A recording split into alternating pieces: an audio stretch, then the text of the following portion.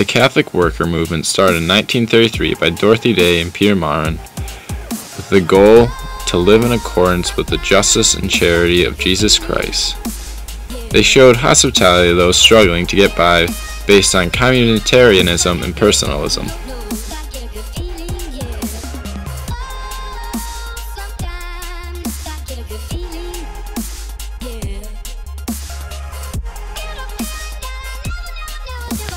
The movement started with the Catholic Worker newspaper, which was going to improve Catholic social teaching and to create a Christian pacifist position in the war-torn 1930s. This then created something called the House of Hospitality. This was an organization that provided shelter, food, and clothing to those that needed it. Out of this, a series of farms grew for people to stay at.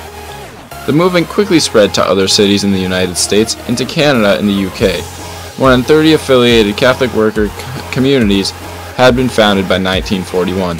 Today, over 100 communities exist worldwide. Gentle personalism of traditional Catholicism. Personal obligation of looking after the needs of our brother. Daily practice of the works of mercy. House of, of Hospitality for the immediate relief of those who are in need. Establishment of farming communes where each one works according to his ability and gets according to his need. Creating new society within the shell of the old with the philosophy of the new.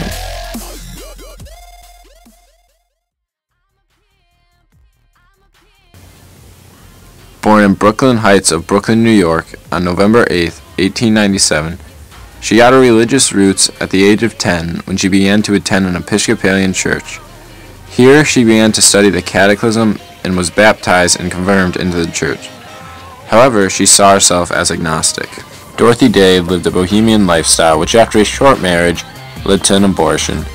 She later wrote a book about it called The Eleventh Virgin. The proceeds allowed her to buy a beach cottage on Staten Island, New York. During her time on Staten Island, she lived with Forster Batterham, who shared an interest for social activism. Dorothy had a religious awakening and embraced Catholicism. Later began attending Mass on every Sunday. Batterham and Day had many conflicts. Forster Batterham frowned upon religions and opposed children. This led to a problem when Day found out she was pregnant.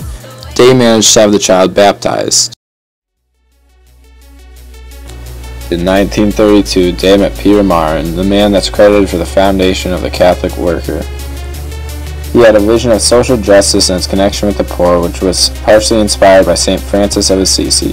He had a vision of action based on a sharing of ideas and subsequent action by the poor themselves. Maurin was deeply versed in the writings of the Church Fathers and the papal documents on social matters which had been issued by Pope Leo XIII and his successors. Through this knowledge, Maurin provided Day with the grounding in Catholic theology of the need for social action both felt